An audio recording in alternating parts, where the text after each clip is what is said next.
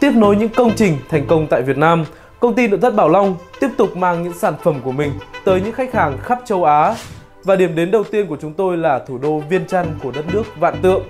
Hiện tại, Bảo Long đang triển khai dự án cải tạo lại nhà hàng Marina nằm tại trung tâm thủ đô Viên Chăn với tổng công trình 20 phòng hát và hai sảnh hành lang. Xin mời quý vị cùng theo dõi quá trình làm việc của đội ngũ kỹ sư, chuyên gia đến từ Việt Nam và kết quả sau hơn 2 tuần triển khai dự án.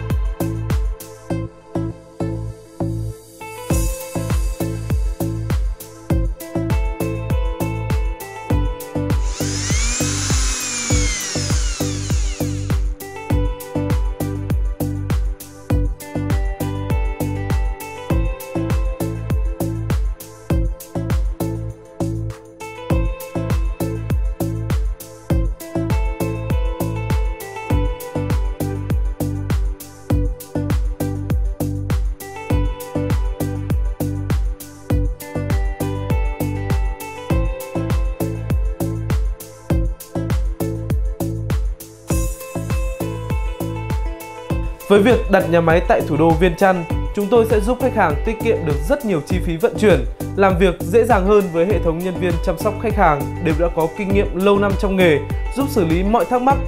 Đội ngũ kỹ sư, chuyên gia đến từ Việt Nam sẽ đảm bảo được quá trình xây dựng và bảo hành đúng như cam kết. Liên hệ ngay với chúng tôi qua hotline 0931 252 333 hoặc fanpage Nội thất karaoke Bảo Long, website www.nội thất bảo long.com.vn Bảo Long mang tới giải pháp đầu tư hiệu quả nhất.